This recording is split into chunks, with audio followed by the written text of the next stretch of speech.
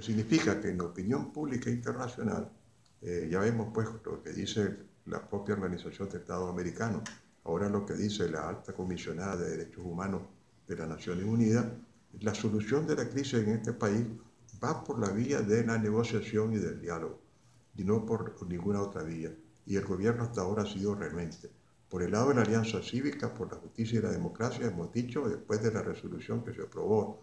en Medellín por la OEA, que nosotros estamos dispuestos a retornar al diálogo, pero que se cumpla con lo que pide la misma organización. Y lo está diciendo también ahora la alta comisionada, que sea un diálogo de buena fe y efectivo, y la alta comisionada dice un diálogo que realmente vaya ahí con la voluntad política de resolver la crisis que está sufriendo Nicaragua, que está teniendo grandes repercusiones en el aspecto económico y social. Doctor, ¿usted cree que el gobierno de Nicaragua vaya a cumplir con esta, este informe que, que destaca la, eh, el asistente de Michelet? Bueno, eh, vimos que el delegado de Nicaragua, eh, el señor Balrak Yance,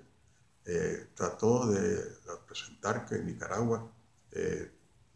ya existen aquí eh, condiciones para el ejercicio de los derechos humanos, que, el gobierno tiene una política de respeto a los derechos humanos eh, y que eh, se han aprobado leyes pues, que conducen a la normalidad, cuando todos sabemos que la situación del país no tiene nada de normal, que, el, que aquí las principales violaciones de los derechos humanos vienen de organismos del Estado, principalmente de la policía y de paramilitares. También el informe que se acaba de presentar en Ginebra habla de la necesidad de que el gobierno proceda a controlar y a desarmar a esos grupos eh, eh, eh, parapoliciales, o que nosotros llamamos paramilitares, que están afectando muy seriamente los derechos humanos, ya que muchos de los secuestros que están ocurriendo en los últimos días han sido realizados precisamente por este tipo de personas. Y habla también de los secuestros que continúan, el hecho que hay todavía personas presas